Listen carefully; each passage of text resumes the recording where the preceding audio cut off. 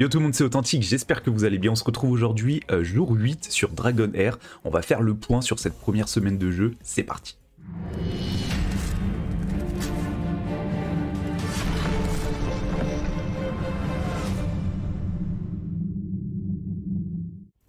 Bon alors on va faire le point sur le jeu 8 jours après la sortie, nous sommes aujourd'hui mercredi, le jeu est sorti mardi dernier, euh, je suis totalement free to play. La seule chose que j'ai fait, c'est que j'ai quand même pris le BP. Faut savoir que dans les jeux, les choses entre guillemets rentables, et je mets bien ça entre guillemets parce que rien n'est rentable à acheter dans un jeu, mais si vous voulez vous faire un petit kiff, euh, les BP en général sont hyper intéressants. Euh, vous avez des petites ressources supplémentaires. Alors pas de panique par rapport à quelqu'un qui serait resté totalement free to play, je n'ai aucune avance euh, grâce à ça. Tout simplement parce que les dés oranges que j'ai récupérés en plus ne m'ont pas donné de légendaire ni même des pics, j'ai eu que du bleu dessus. Euh, les potions d'XP, les gold, euh, les quelques dracomoelles que ça a pu me donner en plus, l'endurance et tout ça, pour le moment je les stack. Je vais vous montrer. Hein. Euh, j'ai euh, les Dracomoel ici, euh, ça, reste stacké. Les Gold, j'en ai plus de 7 millions. si j'ai pu crafter 3 ou 4 pièces d'équipement en plus, sachez que j'en ai des dizaines qui ne sont pas montées à l'heure actuelle. Donc même si vous n'avez pas le BP, on est au même stade. Il n'y a aucun souci, j'ai pas pris d'avance grâce à ça. Donc voilà, ça c'était la première clarification que je voulais faire. Je vais être totalement transparent avec vous. J'ai acheté le BP. Ça m'a également permis ici de récupérer un petit pack euh, qui euh, vous est donné quand vous faites un achat en jeu. Donc vous pouvez faire un achat à 1 euro pour le récupérer. Euh, ce qui m'a permis de récupérer Martina, plus 2-3 autres ressources supplémentaires je vais vous la montrer. Je ne l'ai pas montée, je ne l'ai pas joué hein, pour le moment, donc euh, voilà, c'est elle. Euh, donc vous l'avez, vous la récupérez et vous récupérez, je crois, deux petits trucs en plus. En termes de skill up, euh, c'est pareil. Je stack les skill up, les épiques, j'en ai mis aucun pour le moment. J'ai commencé à skill up des persos bleus, mais du skill up bleu, on en a quand même pas mal. Donc voilà, on met les choses au clair dès le début de la vidéo. Ce que j'ai récupéré via le BP, euh, soit je ne l'ai pas utilisé, soit euh, ça va pas changer grand chose entre vous qui êtes free to play et moi qui ai mis un petit peu d'argent dans le jeu. Bon, globalement, dans le campement, on doit en être à peu près au même stade. Euh, si vous avez commencé Day One, bah, vous avez gagné des petits points ici sur le chariot. Hein. on a gagné quelques levels. Actuellement, je pense qu'on est niveau 5 puisque le 6 n'est pas encore débloqué. Euh, vous avez eu la possibilité d'ailleurs d'avoir à prix réduit un petit dé orange ici, donc faites-vous plaisir, hein, prenez-le. Je crois que c'était au niveau 4 qu'on le débloquait.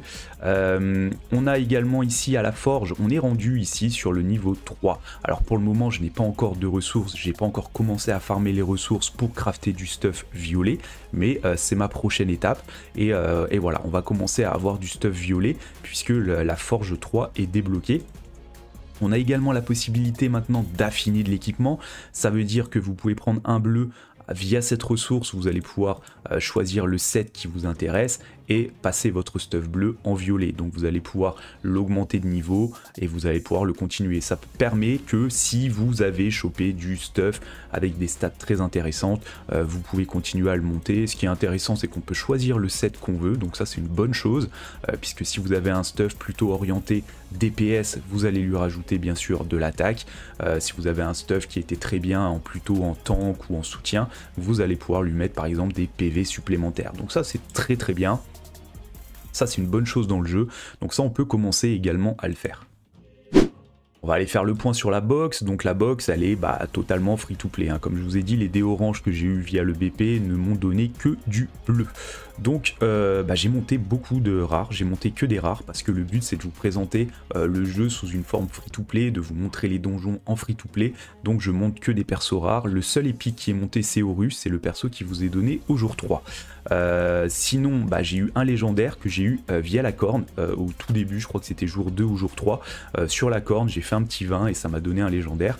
Je l'ai testé au moment où on pouvait recall les persos à volonté. Je l'avais testé, mais finalement, regardez, il est même pas monté. Donc euh, voilà, sachez que pour euh, les, euh, les, persos légendaires, vous allez avoir besoin de skill up légendaire. Donc c'est une ressource qui est très rare. Donc vaut mieux investir sur du rare ou sur de l'épique, là où c'est plus simple de les skill up que sur du légendaire. Donc voilà, c'est pour ça pour le moment je m'y intéresse pas trop. J'ai récupéré quand même pas mal d'épiques, mais il faut savoir que les dés violets, vous en récupérez quand même beaucoup. Là-dessus, ils sont quand même assez généreux. Autant les dés orange, c'est une ressource rare, autant les dés violets, vous en avez quand même pas mal. Donc au bout d'un moment, vous allez commencer à choper pas mal d'épiques. Mais regardez, tous mes épiques sont niveau 1. Je les ai pas montés. Je les ai testés pour la plupart au moment où je pouvais recall encore. Euh, mais depuis, je les ai pas remontés. J'essaye vraiment de rester en free-to-play euh, sur les teams que je vous Euh, et puis bah, je pense que j'ai quand même pas mal de rares. Je sais pas si je les ai tous, je pense pas, mais j'en ai quand même pas mal. On va faire un tour sur tous les contenus du jeu, je vais vous montrer un petit peu l'avancée que j'ai. Jour 8 aujourd'hui, je fais 1,7 million, quasiment 1,8 million sur le Poséidon. Euh, l'objectif pour moi c'est d'atteindre les 2 millions dans les jours à venir, j'espère demain ou après-demain.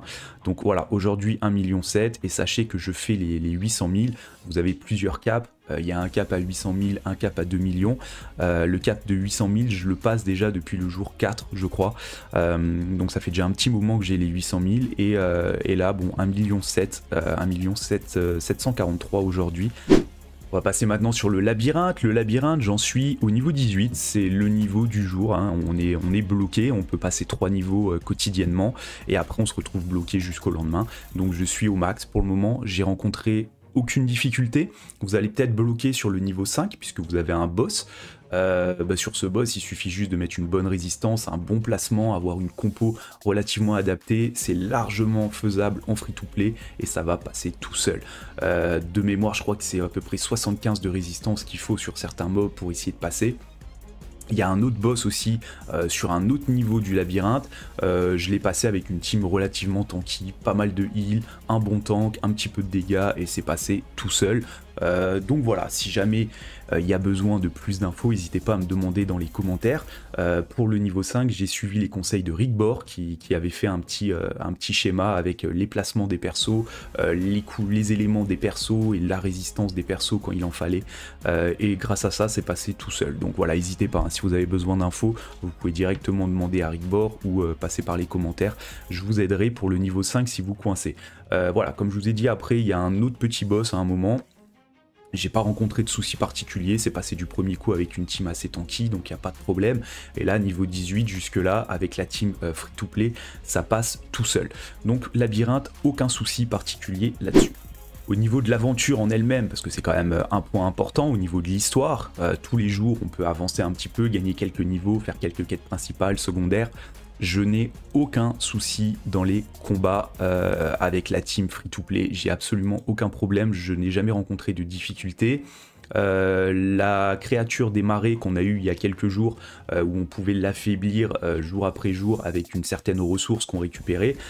au bout de la troisième ressource récupérée, j'ai réussi à la battre et donc à passer au cap suivant, sans réelle difficulté encore une fois, hein, avec la team classique, hein. on met Horus, on met du soin, on met Ellie, le main caractère feu, enfin avec la team feu poison, free to play que j'utilise depuis le début c'est passé, euh, passé tout seul, sans trop de soucis. Le dragon, c'est pareil, c'est passé tout seul. Il n'y a vraiment aucun souci, vous pouvez largement vous faire plaisir euh, en free-to-play. Le mode histoire, et il n'y a pas de grosses difficultés. Dès qu'il y a des combats à faire, ça passe du premier coup sans vraiment se prendre la tête. Donc au moins, ça laisse profiter de l'histoire pour ceux qui ont envie de se focaliser un petit peu sur l'histoire, sans devoir réfléchir à tous les combats. Euh, donc ça, c'est plutôt une bonne chose. L'histoire est relativement intéressante également, ça c'est un petit kiff, hein, vraiment c'est bien foutu. Le monde ouvert est plutôt pas mal, euh, c'est relativement sympa, ça nous permet de nous balader un petit peu, de découvrir certaines choses. Donc voilà, en termes d'aventure, vous ne vous retrouverez pas coincé parce que vous n'avez pas de légendaire. Alors au niveau du bastion des gobelins, je vous avais fait une vidéo sur le bastion numéro 1 le niveau 5 avec une team free-to-play, ça, ça, date déjà d'il y a quelques jours. Euh, voilà, sachez que euh, sur le 1, niveau 5, il n'y a pas de souci. Sur le 2, eh ben, je passe le premier. Euh, ça me permet de farmer déjà à 2 étoiles. Je vais insister un petit peu aujourd'hui parce que j'ai besoin d'XP. Je suis à un stade où j'ai envie d'XP mes mobs au niveau 90. Donc euh, je vais euh, insister un peu plus dessus. Je vous présenterai sûrement une vidéo euh, sur une team qui va vous permettre de passer le niveau 2 voire le niveau 3, sachant qu'actuellement le 4 et le 5 ça a l'air assez compliqué de les passer en free to play, donc sans légendaire.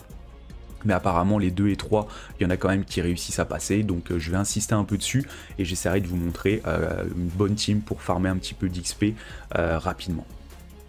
On va maintenant faire un tour sur les trois domaines qui vous permettent de gagner les cristaux pour améliorer les niveaux de vos persos. Donc ici on est sur du niveau 3, je vous ai fait des vidéos sur les trois domaines niveau 3 avec une team free-to-play. On n'a pas trop de retard puisque on va regarder le niveau 4, les formations recommandées. Il y en a que 3 qui passent actuellement, dont une entre guillemets free-to-play, mais pas vraiment puisqu'il y a quand même trois épiques, euh, donc c'est pas non plus évident d'avoir ces trois épiques là. Donc je vais me pencher tranquillement sur les niveaux 4 en free to play, mais pour le moment c'est pas ma priorité. Pour le moment ma priorité ça va être d'aller farmer du stuff violet. Euh, donc on verra ça un petit peu plus tard, mais sachez que ça va venir. Euh, on va aller faire un tour sur les autres domaines. Vite, hop, domaine givré.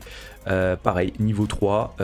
niveau 3, je vous ai présenté la vidéo du niveau 3. Le niveau 4, hop, il y a toujours une team qui peut passer. Là ça ressemble un peu plus à une team complètement free to play, il n'y a que lui. Alors faudrait que je regarde pourquoi lui est dans la compo et s'il y a moyen de le remplacer par un rare, mais euh, il y a moyen que ça, puisse passer euh, assez facilement. Donc, euh, voilà, c'est encore la prochaine étape. Mais sachez que à l'heure d'aujourd'hui, jour 8, si vous farmez le niveau 3, vous n'êtes pas en retard. Hein. Il n'y a aucun retard de prix là-dessus. Donc pas de problème. Et on va aller faire un tour rapidement sur le dernier qui est ici. Hop, on va aller jeter un coup d'œil. Voilà, donc le niveau 3, encore une fois, la vidéo a été faite. Et le niveau 4, on va regarder où ça en est. Il euh, n'y a pas de team free-to-play pour le moment sur le niveau 4. Donc voilà, encore une fois, tant que vous êtes niveau 3 sur les domaines, vous avez absolument aucun retard sur le jeu. Au niveau des ruines hérétiques, ruines hérétiques. On est euh, sur le farming ici de, runes. Euh, je suis donc niveau 3. Alors je vous ai pas fait de vidéo dessus, mais ça passe avec la team free-to-play classique que j'utilise depuis le, début. Euh, donc on est sur du niveau 3 ici, il n'y a pas de souci. Le niveau 4, il y a quand même des épiques. donc je vais essayer de regarder un petit peu ce que je peux faire. Au pire, je vous ferai une vidéo dessus. Mais voilà, je vais essayer de regarder un petit peu. Mais après, c'est pareil. Hein. le niveau 5, c'est full épique. Euh, et niveau 6 ça passe pas encore. Donc actuellement je suis niveau 3, j'ai peut-être un petit niveau de retard, faudrait que j'insiste un petit peu pour passer ici. Mais globalement ici ça va aussi, on n'est pas trop mal. On va parler de l'équipement maintenant. Euh, là, faut savoir que mon but pour le moment, euh, étant donné que j'arrive à farmer les cristaux pour passer jusqu'au niveau 90, je suis en train de farmer de l'XP pour mettre mes mobs niveau 90. Et une fois que ça se sera fait, je vais aller farmer du stuff épique. Euh, actuellement, je suis sur le niveau 3 et là, effectivement, j'ai un petit peu de retard euh, puisqu'il faut que je commence à farmer du niveau 4 pour récupérer de l'épique. Il y a donc euh, sur les niveaux 4 des teams qui passent en free-to-play, il n'y a pas de souci, je pense. On voit quand même 2-3 épiques de temps en temps, mais globalement, regardez la première team ici, ça, reste du free-to-play. le niveau 5 pour le moment, bah, il n'y en a qu'un seul qui passe. Euh, en free to play, enfin en free to play. Je m'entends quand je dis free to play, c'est qu'il n'y a pas de légendaire, mais ça reste pas pour autant free to play puisqu'il y a quand même deux épiques. Les épiques, ça tombe pas non plus comme ça, il faut encore avoir la chance de tomber sur les bons. Euh, il passe même le niveau 6 avec. Mais euh, voilà, globalement ici, on va commencer à farmer du niveau 4. Donc là c'est pareil, il faut que je commence à farmer le niveau 4 pour réussir à commencer à choper du stuff épique. hop, on va regarder rapidement au niveau des formations ce que ça donne. En free to play, ici, il y a de quoi faire. Sur le 5, oh, sur le 5, il y a l'air d'y avoir de quoi faire aussi. Euh, sur le 6 également, oh, ça a l'air d'être facile ça. Ok, bah ça, il y a, peut-être moyen de, monter. Là, j'ai un petit peu de retard là-dessus, parce que c'est là où j'en suis actuellement. Euh, ça va être mon prochain focus, hein, de focus les, donjons de, stuff, pour essayer euh, d'équiper mes mobs avec du stuff épique, et me faciliter la tâche après pour la suite. Voilà, qui est ici, tombeau de la pourriture. Euh, donc ici c'est pareil, j'en suis au 3 et je vais commencer à m'intéresser un petit peu au 4. Après je vous cache pas que c'est pas le 7 qui m'intéresse le plus, je vais plutôt préférer euh, m'investir un peu plus sur tout ce qui va être 7 euh, d'attaque et 7 PV. Celui-là peut-être un peu moins mais je vais quand même essayer d'avancer dans les, dans les niveaux. Donc là on voit ici au niveau 4 euh, ça peut globalement passer. Et euh, le 5, il n'y a encore personne qui le passe. Il y en a qui sont un peu plus durs que d'autres. On voit ici que sur le, rouge, euh, il y a quand même moyen de faire quelque chose d'intéressant. Il y avait pas mal de compos qui montaient jusqu'au 5-6. Donc voilà, il y a moyen de faire quelque chose. On va aller sur un dernier aspect du jeu qui est l'aspect un peu PVP, ça va être le côté arène où là effectivement des joueurs avec des grosses box et beaucoup de légendaires, vous allez sentir la différence. En tout cas pour le moment, parce qu'après en free to play, si on arrive à bien optimiser nos mobs, il y a peut-être moyen de faire quelque chose. On verra ça plus tard, pour le moment c'est trop tôt pour le dire. Mais euh, bon, ici, j'arrive à jouer euh, tranquillement. Euh, si vous prenez pas trop de retard, vous voyez ici, la plupart sont niveau 90, comme, nous, hein, comme beaucoup d'entre nous. Mais il y en a encore qui sont sur des niveaux 70. Donc si vous avez de l'avance sur les niveaux, n'hésitez pas, ça fait des victoires quasi gratuite parce que des fois ils ont des bonnes compos en face et c'est assez compliqué de passer quand même. Mais, mais voilà, globalement il y a quand même moyen de faire des petites choses. Bon donc voilà, au bout de 8 jours où on en est à peu près en termes d'invocation et de dés orange, j'en suis à 13 actuellement, donc j'ai pas encore atteint la première pity qui est à 35, je vous rappelle, vous aurez un légendaire garanti au bout de 35 si vous en avez pas eu avant. Euh, pour le moment je suis à 13 dés orange, toujours pas de légendaire, le seul que j'ai eu c'est via la corne, euh, et que d'ailleurs je n'utilise pas. Euh, il faut savoir que eh bah, forcément, même en étant free-to-play, au bout d'un moment, on va avoir des légendaires qui vont tomber. Si on a de la chance, on en aura plus que certains.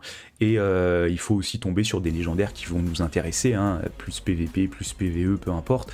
Mais, euh, mais voilà, mais dans tous les cas, on finira par avoir des légendaires. C'est sûr qu'on aura toujours un peu de retard par rapport à ceux qui payent énormément, mais ça c'est normal, hein. ça reste un, ça reste un gacha. Dites-moi en commentaire ce que vous pensez du jeu, euh, si vous êtes plutôt free-to-play, plutôt joueur avec beaucoup de légendaires, euh, et, voilà, racontez-moi un petit peu aussi votre avancée, où est-ce que vous en êtes, est-ce que vous avez des difficultés à certains endroits ou pas. En tout cas, moi, je vais vous laisser là-dessus pour cette vidéo. Merci à tous de l'avoir suivi, merci à tous pour votre soutien depuis la sortie du jeu, puisque j'ai fait quand même pas mal de vidéos. Euh, vous êtes nombreux à vous abonner, à interagir avec moi, et ça me fait extrêmement plaisir, donc merci à tous. Je vous dis à bientôt pour la suite. Ciao todo mundo.